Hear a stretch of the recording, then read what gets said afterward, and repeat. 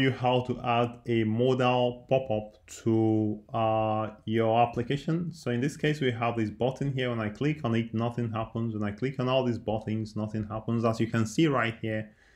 So basically, there are a number of things you need to do, and I'm going to be covering it at this point. Now, if I go back to step uh, part one, if you have a new Angular application, you need to install these four items right here, which is uh, let me see if I can increase the uh, font.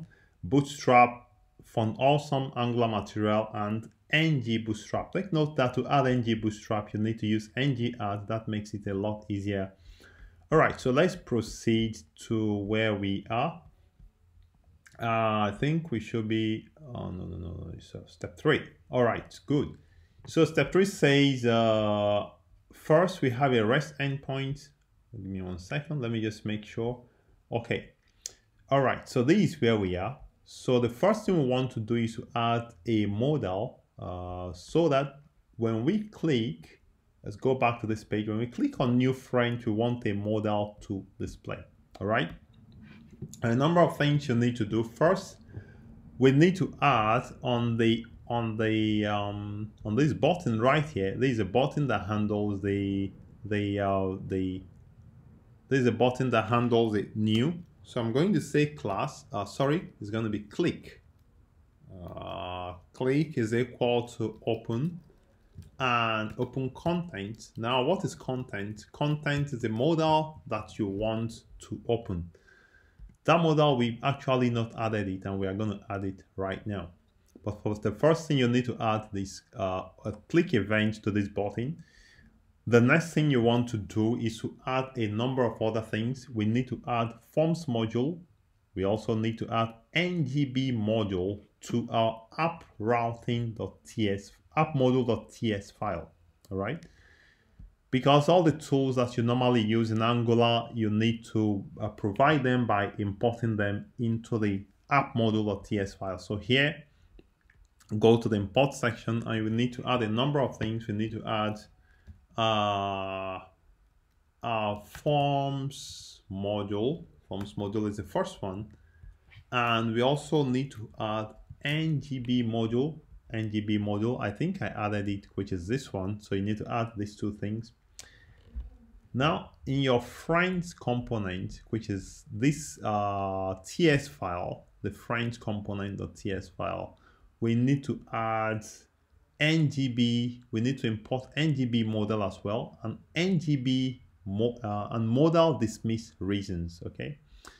The reason is because we need ngb modal to display modal pop-up and also we need dismiss reasons to handle what actually caused the closing of this form. Sometimes you can close a form when a user saves an item you can also close a form when a user clicks on the cancel button or clicks on the x mark x close mark on the top of the of the form I don't know if I've mentioned, if you've not subscribed, please subscribe to my, to my channel. And also you have the step-by-step -step page here on my website.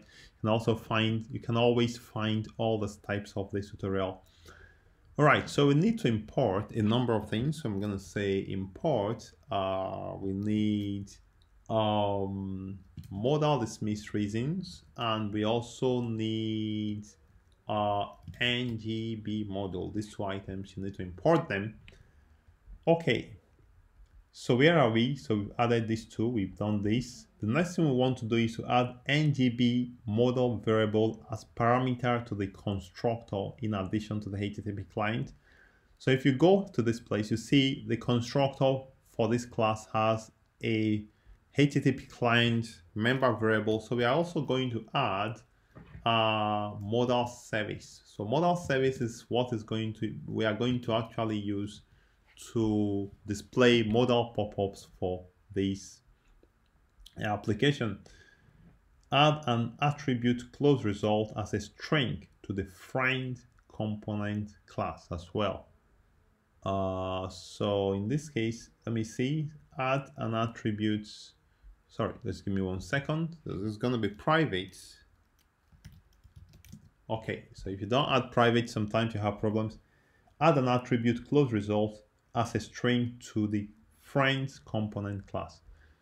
Um, so this friend component class, I'm going to add an attribute close results.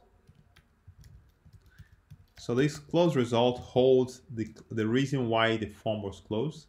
So it's going to be a string. Okay, fine. Um, put a semicolon and not a comma.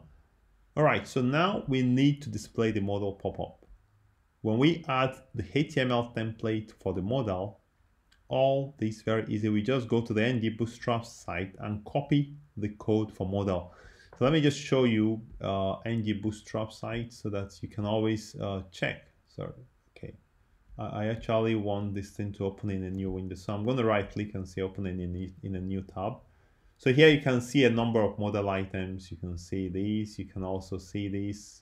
So all of, the, all of them are quite easy. So you can always take any of them. So in my case, I'm taking this one because I already paste, I already have it on my website. So I'm going to take this one and then I'm going to copy it and simply paste it uh, at the lower part after the last div tag, okay? So for now we have only first name we are going to add more as we move. Then you also need the TypeScript code as well.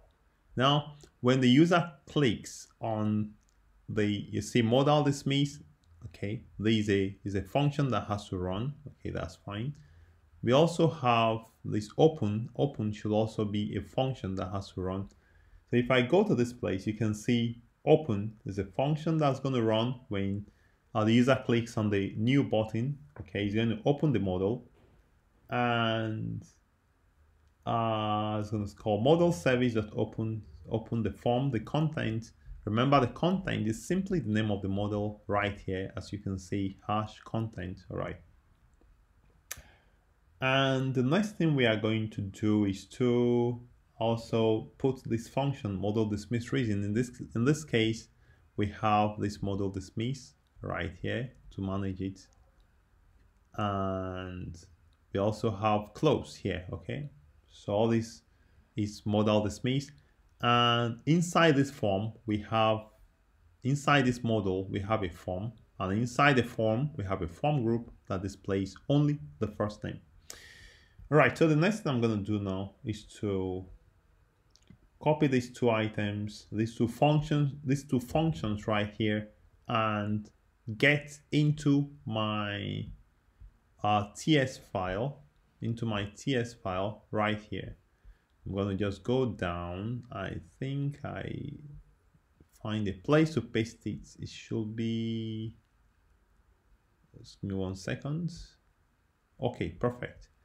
So it should be somewhere here.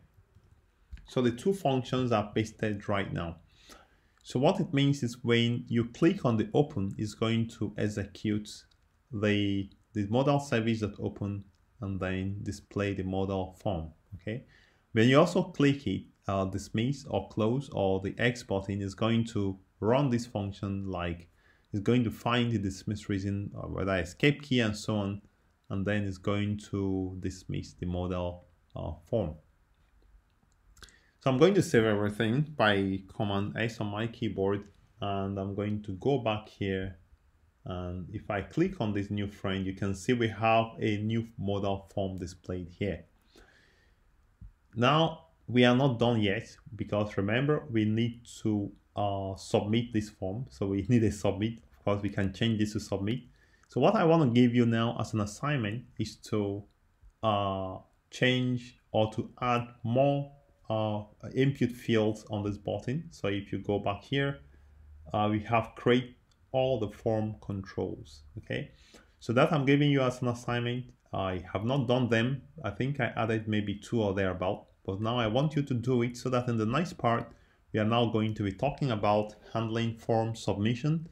So I'm going to be stopping here. I'd like you to do this assignment as soon as possible.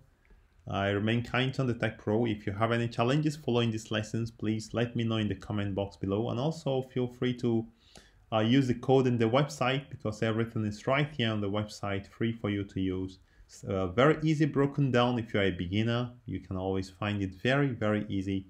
So I'm going to stop here and please like and share my video and we see in the next part.